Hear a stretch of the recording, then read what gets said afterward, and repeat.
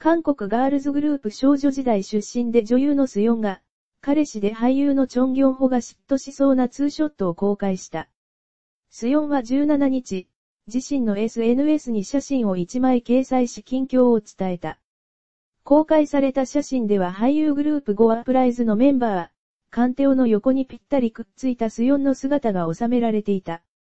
スヨンはとても寒いとロングダウンを着て寒さをしのいでいる様子だ。カンテオの横に立ち、はにかむような笑顔を見せながらテルレクサそうにしている。ドラマの中とは違い、仲睦まじい二人だ。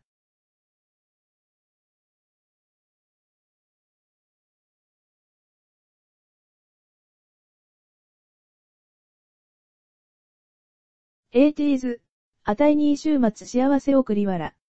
エーティーズエーティーズ。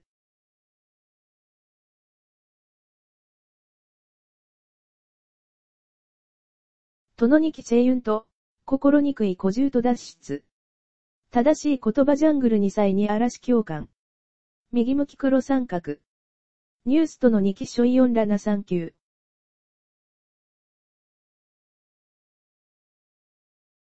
雪だるまの違う運命外見が重要が韓国で話題。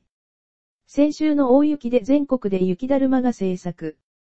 新型コロナ不景気の中、お店の宣伝目的も多い。穴と雪の女王のエルサ像の場合、深夜に壊されると防犯カメラで犯人探しの大騒動。普通の雪だるまの場合、交通妨害としてお店に撤去命令。注意芸能人と一般人の運命と同じとの声も。